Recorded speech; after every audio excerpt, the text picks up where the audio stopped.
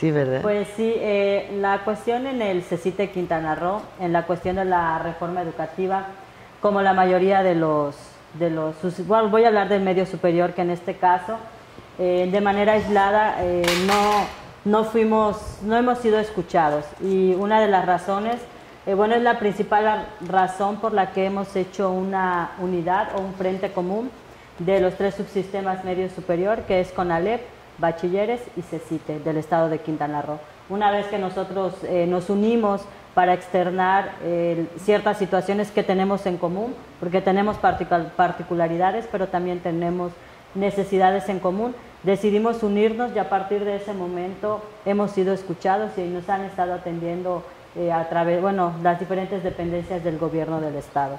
En la cuestión de la reforma educativa, el principal problema que tenemos nosotros en el CECITE de Quintana Roo, como nosotros, bueno, bachilleres, porque con la LEP no entra evaluación, es que no hay, como se escudan en que no hay recursos.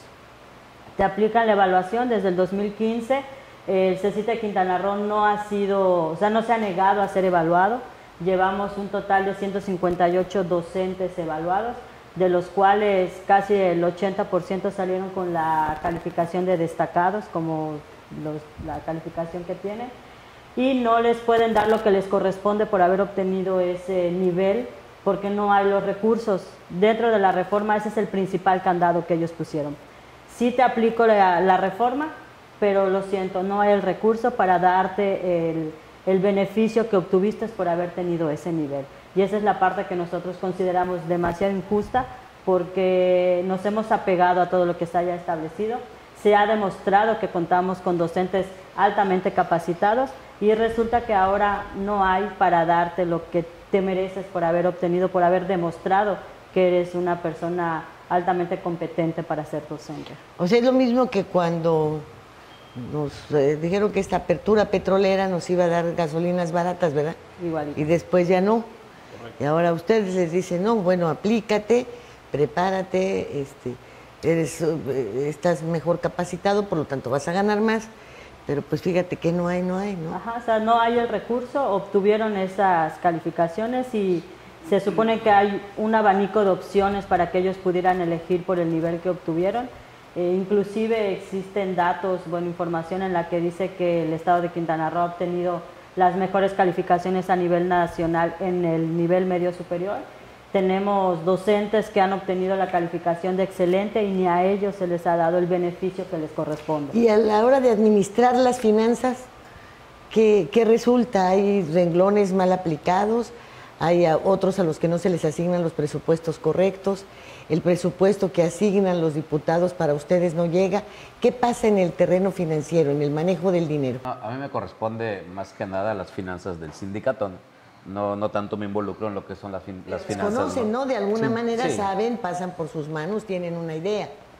Eh, bueno, las finanzas que Porque las finanzas del sindicato son las aportaciones de, los maestros y su aplicación. Sí, esa, es la podemos hablar después. Pero ahorita, de acuerdo con esto, pues ustedes tienen una idea de dónde puede el gobierno de alguna manera obtener los recursos o qué está haciendo mal o qué no está haciendo.